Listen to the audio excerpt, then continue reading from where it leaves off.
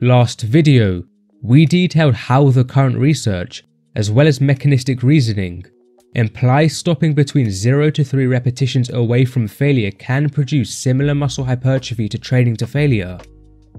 For clarification, when I say stopping between 0 to 3 repetitions away from failure, I'm referring to leaving between 0 to 3 repetitions in reserve.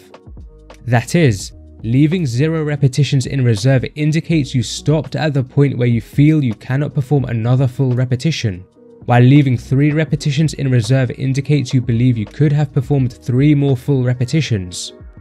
Additionally, failure refers to technical failure, the point at which no more repetitions with correct execution can be performed. This definition was essentially used in the studies we assessed, and I believe this is probably the most sensible definition, as it makes little sense to significantly deviate from using the correct execution for muscle hypertrophy. For example, in a barbell biceps curl, technical failure would refer to the point where you can no longer flex your elbows upwards while maintaining a fairly rigid posture, as your elbow flexor muscles can no longer produce the required force.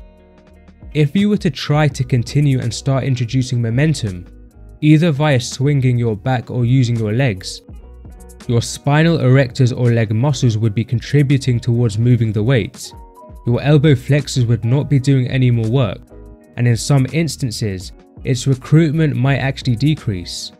Of course, in the real world, your execution will likely deviate slightly as you get closer and closer to failure, but it's likely sensible to try your best to minimize any deviation. Returning to the topic of this video, as noted, leaving 0 to 3 repetitions in reserve likely produces similar muscle hypertrophy to training to failure, but there's a potential problem with implementing this. A person might be inaccurate at estimating how close to failure they truly are.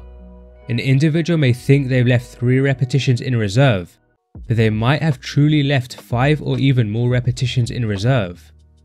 How common is underestimating proximity to failure? Moreover, how could an individual ensure greater accuracy in estimating how close to failure they are? A recent 2020 meta-analysis by Halperin and colleagues answers these questions. They combined the results of 12 studies that examined how well individuals estimate their proximity to failure. Before detailing the findings, it's worth briefly understanding the design of the included studies. The 12 studies had a mix of designs. The studies ranged from having subjects perform repetitions to failure with a 50% to 90% or 1 rep max load. Most of the studies used compound exercises, with the back squat and bench press being commonly used. Although, other exercises like leg presses, chest presses, trap bar deadlifts, as well as biceps and triceps isolation exercises were also used in a few studies. Some studies had subjects estimate how many repetitions they think they could perform with a given load on an exercise before performing the set. Others had subjects estimate at some point during the set. For instance, a few studies had subjects stop at the 10th repetition with a 70% or 1 rep max load, to report how many repetitions they think they could achieve before they went on to complete repetitions until failure. Furthermore, a few studies alternatively had subjects report once they felt they reached a certain number of repetitions in reserve. For example, subjects reported once they felt they hit the point of 3 repetitions in reserve before returning and performing repetitions to failure. Let's move on to the results. Combining the 12 studies results, on average, subjects actually only underestimated their proximity to failure by one repetition. Although, as evidenced by the graph, there was quite some variation. A fair few subjects underestimated their proximity to failure by 1 to 3 repetitions. However, some subjects underestimated their proximity to failure by as much as 10 to 13 repetitions. Let's now explore some meta-regressions performed that can aid an individual in improving their accuracy at estimating proximity to failure. Accuracy increased when subjects gave their predictions closer to failure. This means that studies in which subjects reported how many repetitions they thought they could perform before a set produced less accurate estimates compared to studies in which subjects reported estimates at some point during a set. Also, during a set, making a prediction closer to failure is better than making a prediction farther from failure.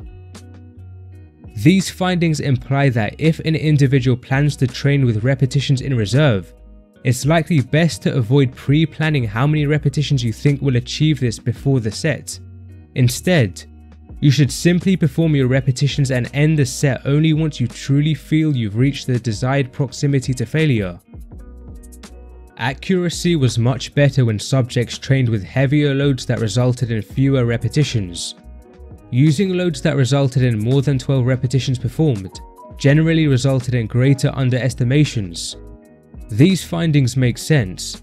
With higher repetitions, and thus lighter loads, there's a lot more room for error.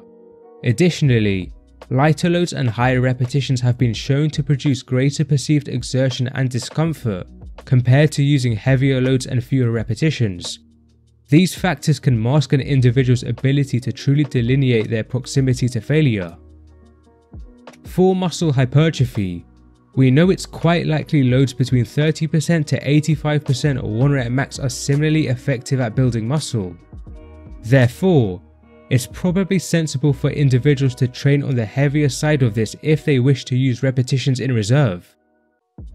Accuracy slightly improved during predictions in later sets compared to earlier sets. This could be for a couple of reasons. Remember that technically the subjects of the studies took all their sets to failure. They just estimated their proximity to failure at certain time points before achieving failure. As a consequence, those earlier sets to failure may have acutely made them more accustomed and aware of the feeling of failure, thereby enhancing their prediction accuracy in later sets. The potential implication of this is that if you're someone who prefers to mix in failure and leaving repetitions in reserve in a session, it might be better to perform your failure sets first. For example, let's say you perform 4 sets with a certain load on the tricep skull crusher in a session. Performing the first two sets to failure may set you up for being more accurate if you were to use repetitions in reserves for the last two sets. Accuracy was slightly worse with lower body exercises versus upper body exercises. It's useful to be aware of this and recognize you may have to push slightly harder than you naturally anticipate if you use repetitions in reserve with lower body exercises. Finally, and quite unexpectedly, training status minimally impacted accuracy.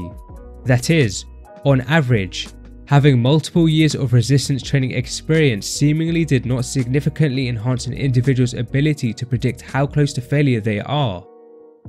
It's not clear why this is. Although I'm not certain, it might simply be because many of the trained individuals in these studies may not have had a fair degree of experience with training to failure. It seems reasonable to think if the researchers divided the trained individuals into those with minimal to no experience of training to failure and those with a fair degree of failure training experience, an effect might be seen such that those with failure training experience would be more accurate than those with no failure training experience.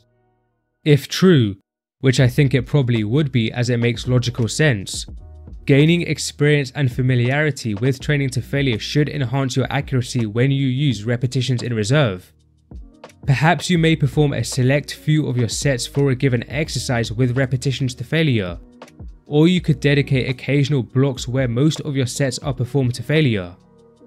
In summary, the current literature, although there is some variability, intriguingly indicates individuals only underestimate their proximity to failure by one repetition on average. Generally, it's best not to pre-plan how many repetitions you should perform with a given load to reach a certain proximity to failure. Rather simply perform repetitions with this load and stop only once you truly feel you've reached your desired proximity to failure. Training with heavier loads and low repetitions likely makes it easier to estimate your proximity to failure versus lighter loads and higher repetitions. It's worth being aware individuals tend to be more accurate with estimates in later sets, as well as with upper body exercises compared to lower body exercises. Finally, it's likely gaining a fair degree of experience with training to failure is beneficial for being accustomed and familiar with how failure feels to you. thereby plausibly enhancing your ability to estimate your closeness to failure when you do use repetitions in reserve.